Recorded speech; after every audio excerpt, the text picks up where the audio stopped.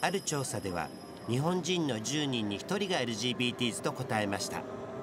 みんな自分らしく生きたい。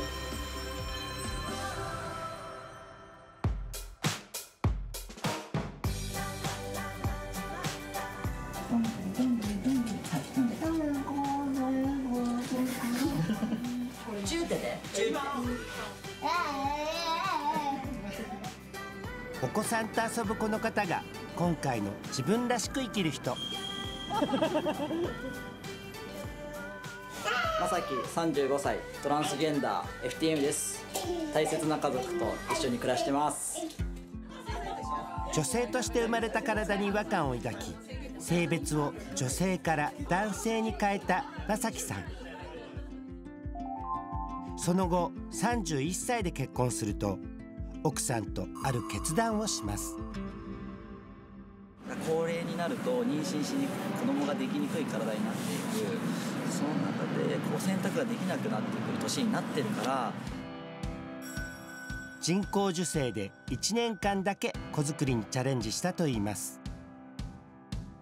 そして妊娠したってメールが届いてその時はもうすごく嬉しかったですけどね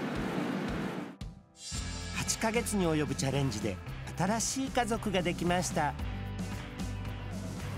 血縁者から精子提供を受け奥さんが子供を授かった正樹さん。戸籍上も親子であると認められました。お子さんは現在3歳。元気に育ってます。さらにこの時。あの、第2子があと15日後ぐらいにもうあとすすぐ。2人目のお子さんは2年半の妊活を経て正樹さんの家族のもとへやってきてくれました。寝てるよ。あ本当だね。寝てるね。夢見てんの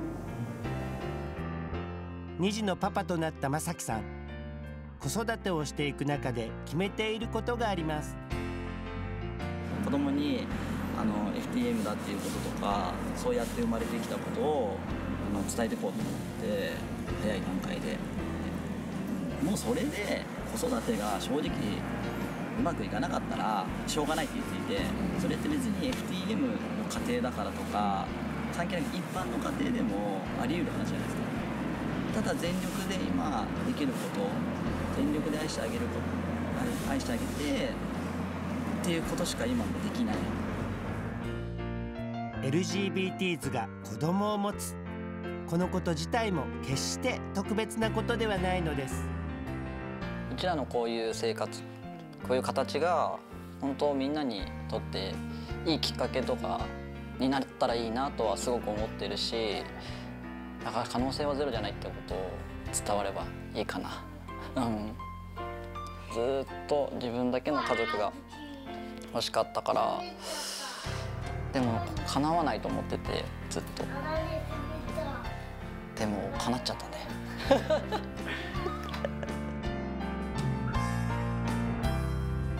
家族の形も自分らしく。